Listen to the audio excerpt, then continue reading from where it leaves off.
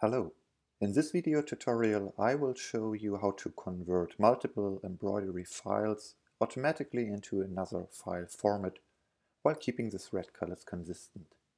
For this I will use Automator actions which are introduced with StitchBuddy version 2.14 in December 2017.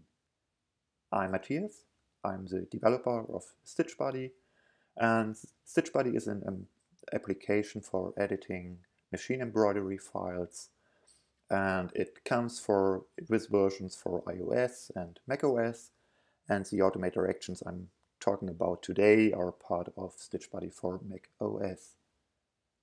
Automator is a powerful utility from Apple. It's uh, part of your applications folder and for the convenience I have already put Automator into the dock of my computer so this little robot here is Automator. And Automator is uh, um, a tool which allows you to define workflows of different steps which are performed automatically. Um, I already covered this in the previous video tutorial a little bit where we created a workflow which uh, created a PDF catalog of embroidery files. Um, there are other options, uh, not only workflows, but um, other options you can use to integrate um, tasks from Automator with your macOS. For example, you can define folder actions which are automatically triggered if files are copied or moved into a specific folder. Or another possibility are services. Services are kind of context menu, context item you have, uh, for example, in the Finder when you're selecting a file, right-clicking on a file, you can see services which are performed on these items. But today we will focus on a standalone application. So basically we will create a program itself which accepts files you drop on this program and automatically these files will be converted into a different embroidery file format and um, you will be presented with these results automatically. So I'm starting with choosing the application and the remark at the top of the screen already reflected that I don't need to care about the files which are passed to my workflow. They are provided automatically if I'm dropping um, items on, on the icon of this application later on. You will see it when we, when we test our workflow. So um, let's assume I have a couple of brother embroidery files. File format is PES. And my machine, my embroidery machine accepts only, for example, Tajima DST files. Um, so I would like to convert files automatically without opening StitchBuddy and use the Save As option for each file individually. Um, another thing is, uh, as you might know, DST files don't come with colors. They have information which uh, order uh, which indicates that a new thread should be used, but they don't give you the information what color this new thread should have. Um, it's a professional embroidery format and it's quite usual that these formats don't come with color information. So what I would like to do is I would like to keep the, the original color information of my PES file so at least at, at, at my Mac, I can still see the, the design as it, as it is with its red colors. The DST file itself on my machine won't have this information, but at least on my Mac I would like to keep it. So what I would like first to do with um, PES files passed into my, my little um, Automator workflow here is I would like to add thread color information to them. Uh, you might know this from Stitch StitchBuddy, from the Stitch StitchBuddy application, where you can choose the, the color, um, this red palette you, you use, the color card. So there's, there's an action for that. It comes with the documents uh, folder here, category. So first I will um, change the thread palette of embroidery designs. And here on the, on the lower side of the screen, you can see some information about this action. Um, there's also a warning. I will cover that in a minute. Um, so I will just drag and drop this action into my workflow. And here comes the warning. Um, when StitchBuddy, and StitchBuddy is working in the background of this action, changes the thread palette of our design, it will create an additional file.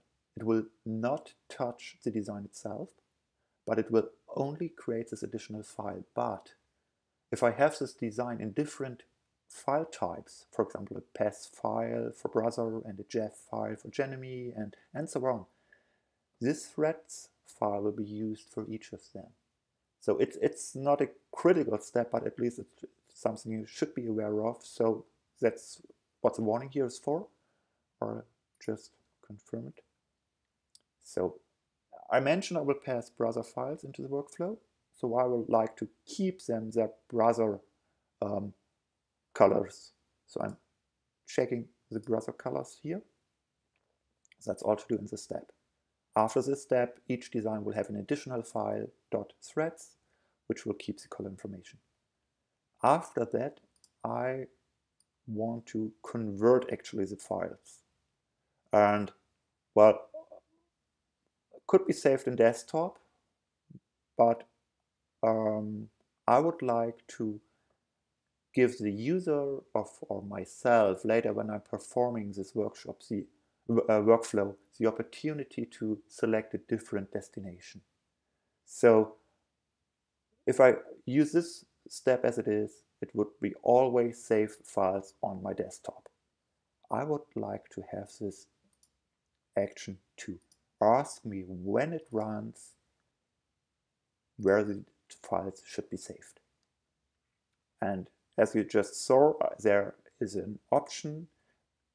It's part of most of the actions you have. And there you can select if, when running a workflow, uh, some information should be able to be changed. Um, might become a little bit more clear when we're running the workshop uh, workflow later on. So after that, my embroidery files have the threads files, they are converted to, um, no, not Janome, but I would like to have them converted to DST. And as a last step, I would like the uh, macOS Finder presenting me these new designs. So um, it's an action in files and folders. It's called reveal finder items. I just drag and drop it after the last step. So are things that should work. Just check again that I'm I marked the destination to be shown when the workflow runs. Yes, that looks good. So now I will just save the workflow and I'll save it to my desktop and call it maybe uh, con convert to DST. And then I will now close the automator. And that's, that's the difference between a standalone application and an automator workflow. In my last video tutorial, I showed you a workflow and each time you use this workflow, you will open Automator and run it. With this uh, um, task I have created today, I will not use directly the Automator, but now I have this small icon on my desktop with this robot. It's my workflow. And if I'm using some embroidery files, for example, let's take these. I will just drag and drop them onto the icon. The workflow starts automatically again without launching Automator. It's just an, a standalone application. It asks me for the information I just checked. So that's the reason why I put this check mark on the destination folder. So it's not automatically storing the result files every time it runs into my desktop, but it asks me. And I can choose a different folder. Um, for example, this one. And check replace existing files. Also, this folder is empty at the moment. And now I'm running this workflow. And here it is. That's the output of my workflow. It's the output folder on my desktop. It has created DST files for each of these five embroidery designs I selected. And as you can see, there are additional thread threads files which represent the color information. And if I now hit the space bar to quick look these four designs, you will see that they will reflect thread colors. Also, that's not part of the DST file. So here in, the upper right corner, you can see it has brother threads, information which is took from the thread file. Uh, it's a DST, but it has colors. And that's the same for all of these designs. Oh, not five, it was seven, sorry. Um, so what we did now, we have created a workflow as a standalone application. Um, the workflow accepts files which are dropped on it. It will preserve color information, convert the file into DSTs, ask me for the destination folder, and runs completely automatically just by dropping some files on, on the workflow icon. Um, I think that's a second example how to use automated actions to make your life more easily. And it's, as I mentioned, really powerful tool. You can do a lot with this workflows. It just I really like to encourage you to, to look into the actions, combine them. You can really test and try a lot of things. Uh, I found it very um, very useful if I'm dealing with multiple designs, multiple files, uh, more often than only once, and repetitive tasks. That's exactly what the automator is for. So that's it for today. Um, I would encourage you to ask questions if you have. Use the YouTube channel or use um, my Facebook page or send me a mail. Um, please share your opinion about StitchBuddy and your experiences with others and uh, have a great time. Thanks.